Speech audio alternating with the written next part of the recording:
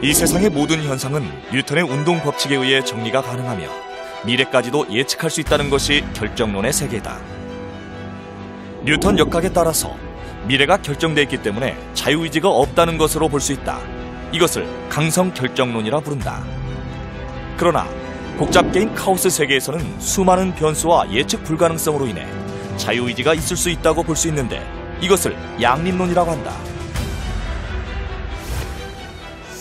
어려운 얘기죠. 지금까지는 제가 고전역학 입장에서 즉 우주가 결정되어 있다는 입장에서 자유의지를 보는 관점을 말씀드렸고요. 두 번째로 가보겠습니다. 두 번째는 바로 양자역학에 대한 거죠. 양자역학이 얘기해주는 바는 미시세계, 굉장히 작은 원자들이 사는 세계에서는 근본적으로 물리 법칙이 정해져 있지 않다는 겁니다. 그렇죠? 자, 이럴 때 우리가 자유의지에 대해서 뭘 얘기할 수 있을까요? 우선 제가 양자역학에서 자유의지가 그 있을지도 모른다는 즉 여기서는 모든 게 정해져 있지 않다는 것을 조금 더 다른 식으로 설명을 해볼게요.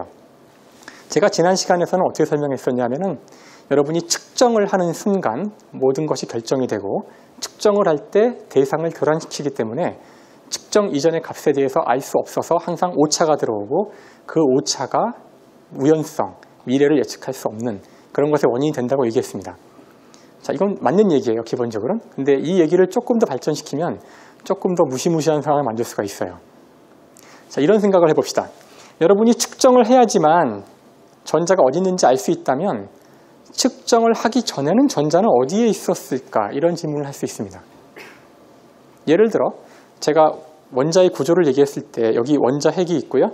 전자가 1m 위치에 있을 수도 있고 2m 위치에 있을 수도 있다 그랬죠. 정상 상태라고 부르는 보호의 이론입니다. 측정을 해보면 아 1m 정상 상태에 있구나 또는 2m 정상 상태에 있구나로 답이 나옵니다. 여기까지는 괜찮아요. 문제는 측정 전에 어디 있었을까라고 물어보면 1m 아니면 2m에 있었겠죠? 하지만 여기서 배제할 수 없는 또 하나의 가능성은 1m 궤도와 2m 궤도에 동시에 있을 가능성을 배제할 수는 없어요. 측정이 교란시켜서 여러분이 보는 건 마지막 결과뿐인데 그 전에 대해서는 알 수 없기 때문에 두 가지 이 가능성을 바로 배제할 수는 없습니다. 자, 제가 이거를 조금 더 느낌이 오실 수 있도록 얘를 약간 바꿔볼게요. 1m, 2m에 있다는 것은 전자가 여기, 여기 이 두 장소에 동시에 있을 수 있다는 뜻입니다. 자, 이제는 제가 전자를 원자에 가둬놓지 않고요. 그냥 보내볼게요. 그럼 전자가 목적지까지 가기 위해서 이렇게 갈 수도 있고 이렇게 갈 수도 있는데 측정하기 전에는 동시에 가는 가능성을 배제할 수 없다는 뜻입니다. 진짜 웃기는 얘기죠? 하지만 놀랍게도 만약에 전자가 이와 같이 하나의 전자가 두 개의 궤도를 통해서 동시에 간다면 서로가 여기서 서로라는 말이 되게 무색한 말인데 자기 자신이 자기 자신을 보는 건데 서로가 서로를 보게 되고요. 만나면서 뭔가 상호작용을 할 겁니다. 즉 하나의 전자가 이렇게 가거나 또는 이렇게 가서 나오는 결과와 동시에 갔을 때의 결과는 다르다는 거죠. 그래서 이 두 개를 물리학자들은 실험적으로 분해, 분리할 수가 있습니다. 놀라운 일인데요. 그래서 실제 실험 결과는 저희가 측정하기 전에 전자는 두 개의 궤도를 동시에 지나게 됩니다.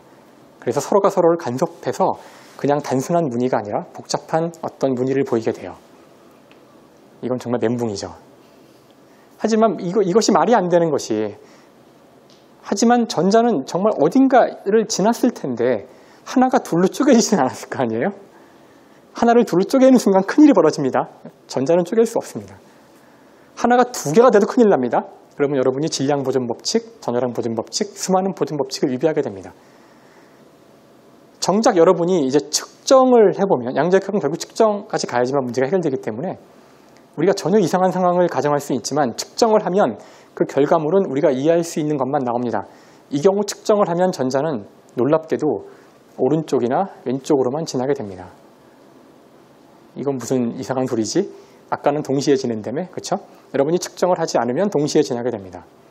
즉 나의 측정 여부가 이 전자의 최종 결과물을 바꾸게 되는 거죠. 따라서 양자역학의 틀 내에선 이상이 없어요. 여전히 측정이 대상을 교란한 겁니다. 하지만 측정이 교란을 한다는 것을 가정하는 순간 이런 이상한 것들도 가능해지는 거죠.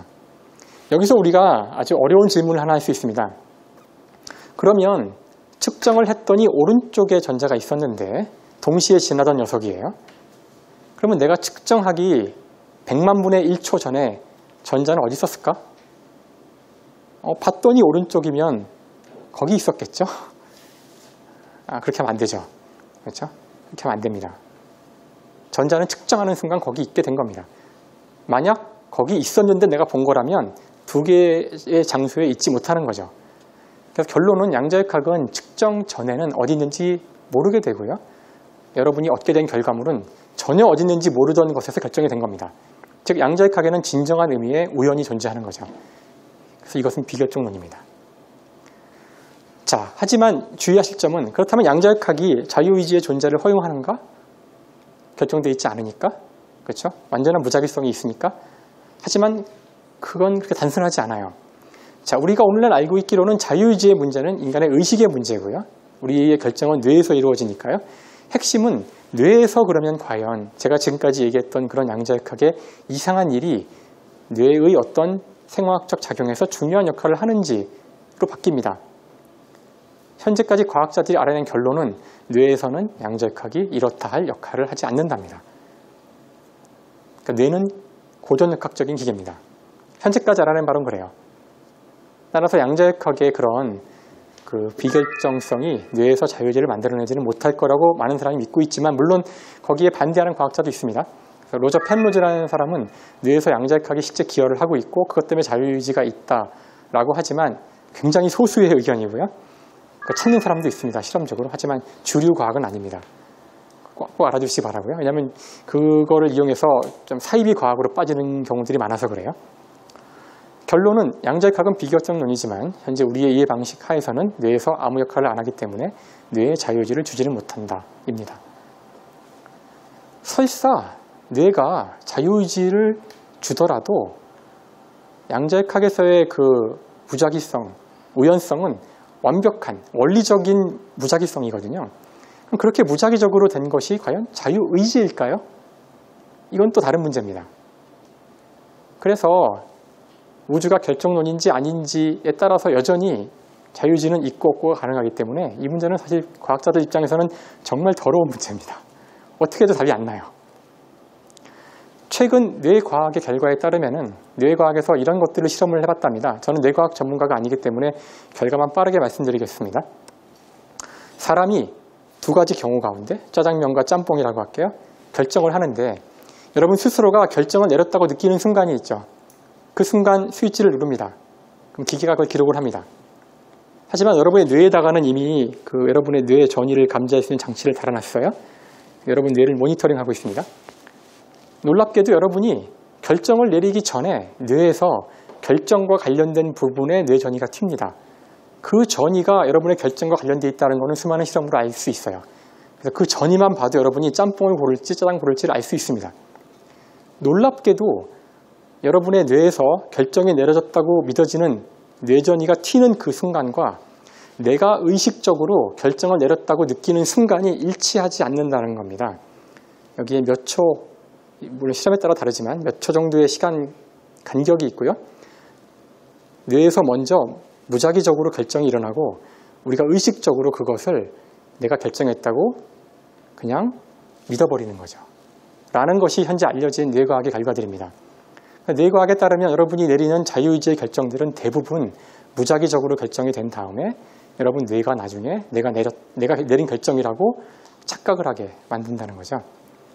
뇌과학의 얘기인데 물론 여전히 많은 실험들이 필요하고 논란이 많이 있습니다.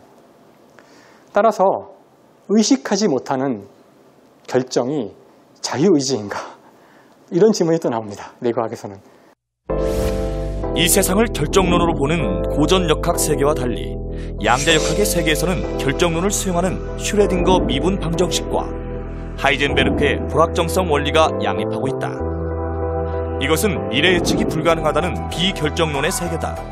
그렇다면 자유의지는 어떨까? 있는 것인가 없는 것인가? 현재 뇌과학에서는 뇌에서 일어나는 현상들이 모두 화학적 반응에 불과하며 고전 역학을 따르기 때문에 자유의지가 없다고 보고 있다. 이것을 양립 불능론이라고 한다. 예외적으로 과학자 로저 펜로즈는 뇌를 양자 역학의 세계로 보고 자유의지가 있다고 주장하고 있다. 이것은 자유론이다. 이 문제가 단순하지 않다는 걸 아시겠죠?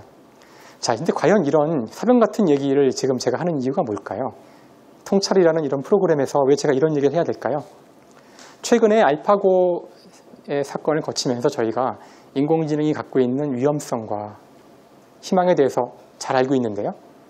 인공지능이 줄 수 있는 가장 암울한 미래의 모습은 바로 인공지능이 인간을 지배하는 터미네이터에 나오는 거죠.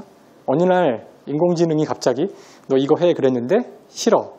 이제 그러는 날이 오면 나 네가 시키는 거 안 할 거야. 이제 그러는 날 이제 무서운 일이 벌어질 수도 있는 거죠.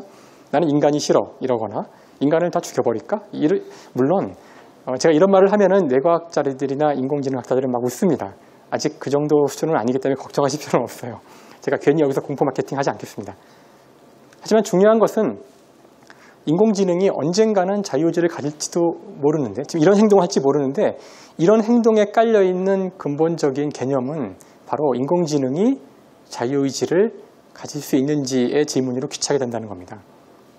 내 명령에 상관없이 스스로의 뜻으로 움직일 수 있는지 그런 얘기예요. 인간이 만든 지능이 자기 스스로 판단해서 결정해서 움직이려고 할 수 있는지 그런 것이 무엇인지 만약 그게 저희가 두렵다면 누군가 그거를 감시해야 될 겁니다.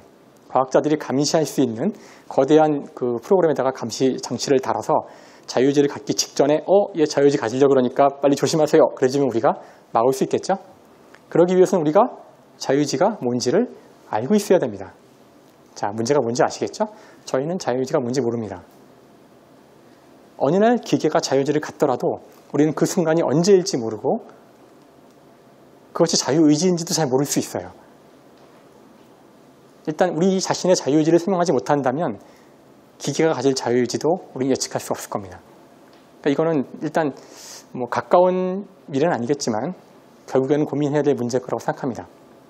다음 또 한 가지 문제. 저희는 자유의지를 갖지 못한 기계, 기계는 제가 시키는 일만 하죠. 그래서 인간보다 별로 뛰어나지 않다고 생각을 하시는 분들이 있는 것 같아요. 그림을 창조적으로 그리지 못하거나 창의성이 없다고 얘기를 하잖아요. 그런 것들은 사실은 자유의지와 관련이 되어 있습니다. 많은 부분. 그렇다면 기계가 인간보다 못한 것은 자유의지가 없기 때문일까요? 하지만 곰곰이 생각을 해보십시오.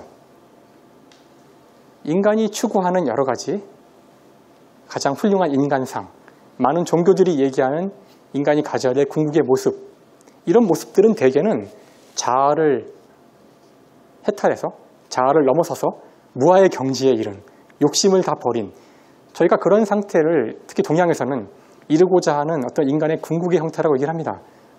어떻게 보면 뭐 인간을 지능이라고 할 수는 없지만 지능이 가져야 될 궁극의 모습이라고 얘기를 하죠. 굉장히 제가 좀 궤변을 좀 궤변일 수도 있어요. 이미 기계는 그런 경지에 도달한 건지도 모릅니다. 제 노트북은 한 번도 제 부탁을 거절한 적 없어요. 얼마나 착합니까? 언제나 봉사를 합니다. 나쁜 짓 한 적 없어요. 착한 일만 하죠. 제가 보기에. 하지만 이 지능은 우리보다 훨씬 뛰어납니다. 저보다 엄청나게 빠른 속도로 검색을 하고 더하기 빼기를 저보다 100만 배, 1000만 배, 1억 배 빨리 합니다. 모든 지능 영역에서 저보다 우월합니다. 이 친구들이 부족한 거는 욕심이 없다는 건데 그게 과연 인공지능이 갖고 있는 인간보다 우월하지 못한 열등한 점일까요? 아니면 우리가 뭔가 잘못된 걸 갖고 있는 것일까요?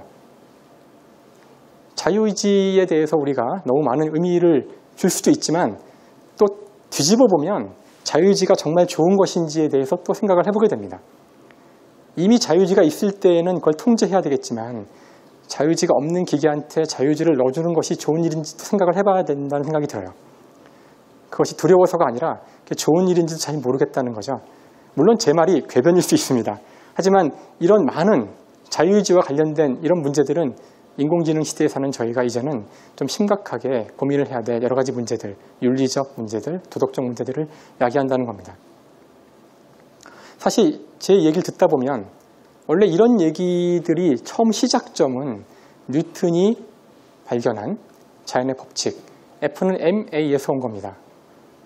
사실 F는 MA는 그 시작점은 그 이전에 있었던 주로 천체를 관측하던 과학자들, 갈릴레오가 설명하려고 했던 것, 케플러가 설명하려고 했던 것, 티코브라의 관측 결과, 이런 천체의 운동에서부터 나온 자연 법칙입니다. 아마 그 당시에는 그걸 만들면서 그 이론이 오늘날 우리한테 이렇게 엄청난 인간의 문제, 이제는 인간의 중요한 문제가 됐죠. 아마도 소행성에 우리가 부딪혀서 인간이 멸종하는 걸 걱정하는 것보다는 높은 확률로 인공지능 문제를 고민해야 될 겁니다. 즉, 제가 하려는 얘기는 그런 자연과학적인 어떤 발견, 그런 생각이 몇백 년 뒤에는 중요한 인문학적 문제가 됐다는 겁니다. 그래서 이런 식으로 사실 그 저희가 앞부분에서 주로 자연에 대한 얘기를 했지만 뒷부분에서 인간과 사회 얘기를 하려고 할 때 첫 번째 드리고 싶은 메시지 중에 하나는 바로 인간과 사회를 이해하는데 자연과학이 멀리 있지 않다는 거고요. 실제 우리가 갖고 있는 많은 문제들이 바로 자연과학에서 왔다는 겁니다. 자연과학이 인간한테 문제도 이야기하고 이런 우리한테 재앙도 이야기하는 것 같지만 또 한편으로는 우리한테 중요한 많은 좋은 일들을 해왔고요. 이런 문제를 해결할 때도 중요하지만 자연과학만으로 해결할 수 없는 문제도 있고 그래서 우리가 이런 자리를 빌어서 자연과학과 인문학 모든 학문을 다 같이 생각하는 학문 간의 소통뿐만 아니라 우리 일반인들도 자연과학과 인문학을 다 공부하고 이해하고 하는 그런 세상이 왔으면 하는 그런 바람을 말씀드리면서 자유의지의 두 번째 주제인 인간과 사회 가운데서 인간 개인의 자유의지를 자연과학의 입장에서는 어떻게 볼 수 있는지 그런 말씀을 드렸는데요. 결론이 뭐냐고 말씀하시고 물어보고 싶으시죠? 결론은 모른답니다. 결론은 자유의지에 대해서 아직 자연과학은 없는 것처럼 보이지만 잘 모르겠고요. 심지어 저 같은 과학자들은 자유의지가 수학적으로 잘 정의되지 않는다면 그거는 어차피 잘 정의 안 되는 개념이니까 있다 없다를 얘기할 수 있는 것이 아니지 않을까라는 생각까지도 해요. 있다 없다는 명제인데 참과 거짓을 판별할 수 없다면 그거는 우리가 가지고 노력하는 게 의미가 없잖아요. 꽃은 아름답다가 참입니까? 그런 종류의 문제일지도 모른다는 생각들이 나오고 있지만 여전히 답은 잘 모르고요. 하지만 이, 런 문제들이 자연과학과 인문학이 다 같이 생각해야 되는 그런 중요한 문제라는 것을 말씀드리고 싶습니다. 결론이 좀 마음에 안 드시죠?